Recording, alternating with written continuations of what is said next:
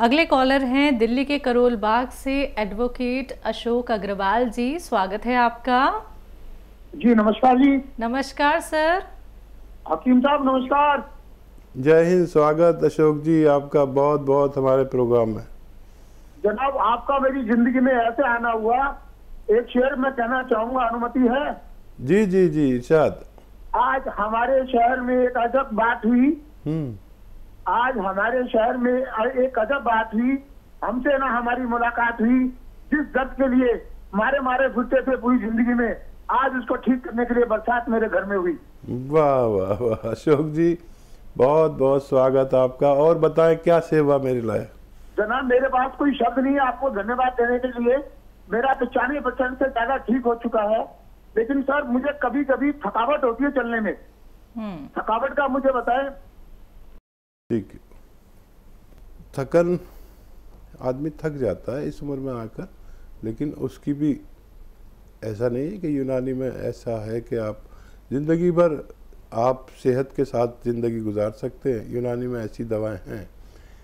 Immunity की दवाएँ बहुत कामयाब हैं यूनानी की, और सिर्फ़ यूनानी ही बात करती है इम्यूनिटी की क़वत मुदाफ़ियत की, रोग प्रतिरोधक शक्ति की। हमेशा से मैं जब से भी दस बीस साल से आपके सामने आया हूँ। मैंने हमेशा इम्यूनिटी की बात की है और फिर ये दो ढाई साल से ये कोरोना आया तो सब करने लगे, लेकिन मैंने हमेशा इम्यूनिटी की बात की है। तो इम्यूनिटी के लिए एक वो आता है ना, गौन चिलगोज़ा, और एक चम्मच अलसी। अलसी को हल्का सा भून लें और हल्का सा भूनना ज़्यादा नहीं उसका पाउडर बना के रख लें एक चम्मच अलसी खाएँ और एक चुटकी में जितना गौन चिलगोज़ा है एक बार एक दिन में खा लिया करें।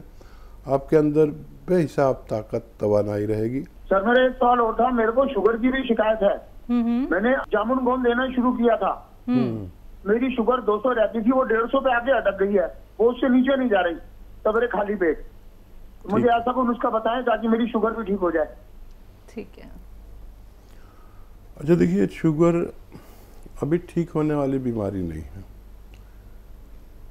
और ये कंट्रोल कहलाती है। शुगर पेशेंट की अगर 150 तक भी है खाली पेट तो कंट्रोल कहलाती है। लेकिन ये जो जामुन का गोंद है, ये आप लें और भुनी हुई अलसी के साथ लें। हल्की सी भुनी हुई अलसी हो, उसका आधा या एक चम्मच खा लें और एक चुटकी ये जामुन का गोंद ले लें। और अगर आप गर्म प्रवृत्ति के हैं तो ये सिरका, कलौजी का या जैतून का सिरका दो चम्मच पी लिया करें रात को पानी में मिलाकर तो और इसका स्तर नीचे आता है।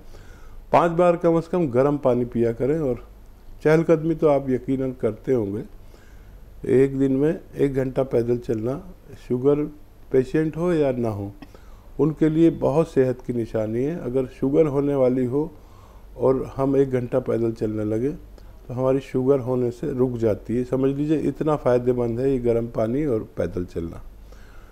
बहुत शुक्रिया हमारे साथ जुड़ने के लिए।